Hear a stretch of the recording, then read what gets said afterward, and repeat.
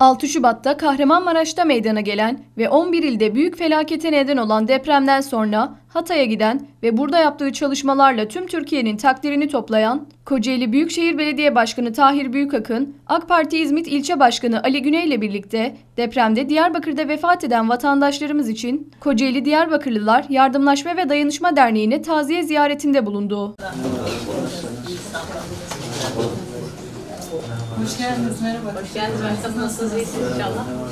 Belediye iş anında bulunan dernek binasında gerçekleşen ziyarette Kocaeli Büyükşehir Belediye Başkanı Tahir Büyükakın, Kocaeli Diyarbakırlılar Yardımlaşma ve Dayanışma Derneği Başkanı Mehmet Er Yılmaz'a taziyede bulunup başsağlığı diledi. Kocaeli Diyarbakırlılar Yardımlaşma ve Dayanışma Derneği Başkanı Mehmet Er Yılmaz, taziye ziyaretinden dolayı Kocaeli Büyükşehir Belediye Başkanı Mehmet Er Yılmaz ve AK Parti İzmit İlçe Başkanı Ali Güney'e teşekkür etti. Kocaeli Büyükşehir Belediye Başkanı Tahir Büyükakın, Hatay'da yaptığı çalışmalar hakkında ve ziyaretlerle ilgili mikrofonlarımıza açıklamalarda bulundu. Yaptıklarımızı çok kısa anlatmak biraz Evet. zor. Ee, ne yaptık? İlk önce e, buradaki belediye başkanlarımızla aramızda iş bölümünü yaptık.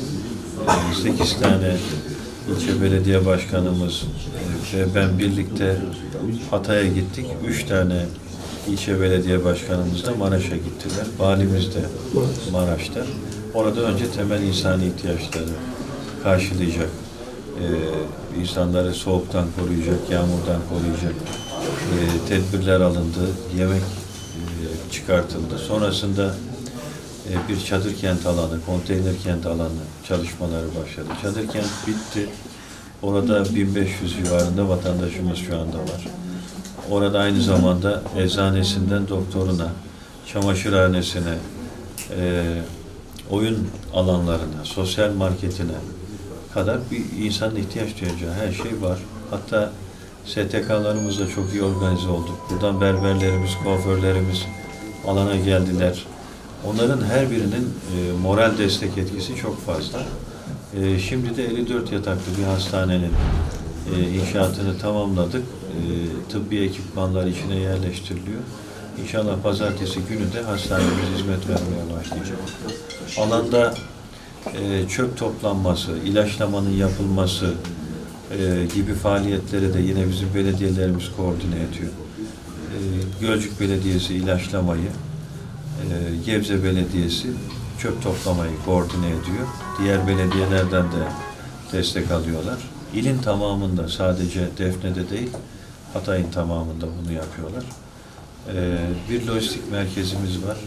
Oradan gelen yardımları e, köylere kadar dağıtma organizasyonu yapılıyor.